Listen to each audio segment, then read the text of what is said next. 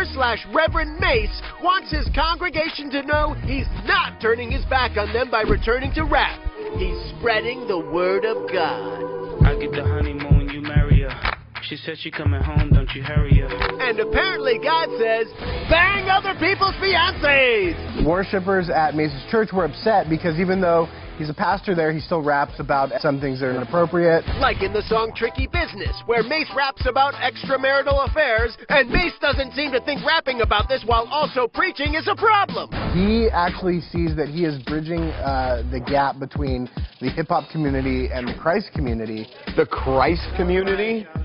What is that? Nazareth, where Jesus lived, but he actually means Christian community. He says he's going to basically use the rap to infiltrate the hip hop community and bring uh, those people closer to Christ. But you can't be Christian and rap about banging other people's fiancés. Isn't like Christianity all about forgiveness, so he can sing whatever he wants as long as he says he's sorry? That is one of the dumbest things we've ever heard, which is why we're gonna give it a try. Hit it! Just banged your wife inside my Ferrari, but guess what? I'm sorry.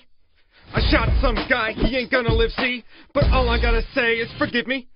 I smuggled in drugs from Mexico, but it's all bueno, Luciento.